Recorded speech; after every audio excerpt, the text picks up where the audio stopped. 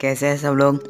मैं कामिल से आज आपके लिए लेके आया हूँ एक नया टॉपिक तो फ्रेंड्स आज का टॉपिक है नाउन आज हम देखेंगे कि नाउन क्या होता है।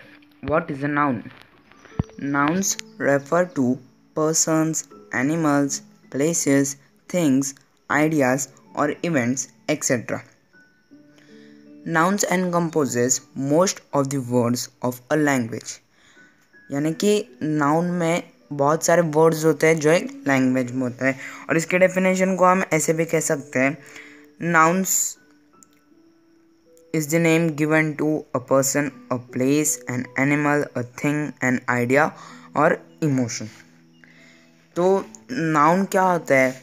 नाउन वो होता है नाउन यानी कि किसी पर्सन यानी किसी इंसान या किसी व्यक्ति और प्लेस प्लेस यानी किसी जगह और एनिमल यानी कोई जानवर और थिंग थिंग यानी कोई चीज़, आइडिया या फिर इमोशन इमोशन यानी हमारी फीलिंग्स।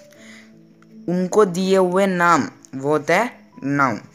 तो फ्रेंड्स, अब ये person, place, animal, thing, idea और इमोशन, ये इसको हम और अच्छे से एग्ज़ाम्पल के साथ समझते हैं, उनके एग्ज़ाम्पल देख लेते हैं। तो पहला था person. Person a name for a person यानी किसी इंसान का नाम।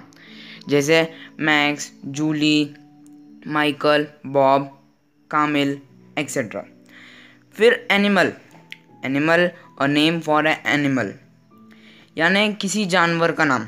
जैसे dog, cat cow kangaroo, lion, tiger, peacock, rabbit etcetera फिर आता है place. A name for a place name for a place यानी किसी जगह का नाम।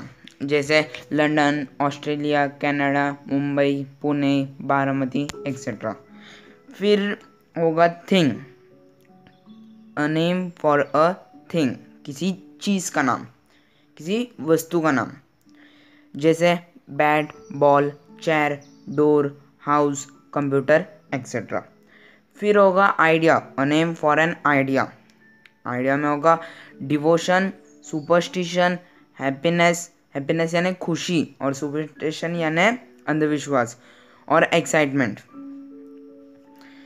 तो ये हमने डेफिनेशन को अच्छे से समझ लिया। अब नाउन फाइंड करना हो तो हमें कुछ भी नहीं, सिर्फ़ सिर्फ़ हमें सेंटेंस में से किसी person, place, animal, thing idea और इमोशन को दिया हुआ नाम ढूंढना है और उसको अंडरलाइन करना है। बस इतना ही, बहुत ही सिंपल है नाउन तो फ्रेंड्स, आज के वीडियो में बस इतना ही। अगर आपको वीडियो पसंद आया है तो please please please like, share और सब्सक्राइब करना मत भूलिएगा। Thank you.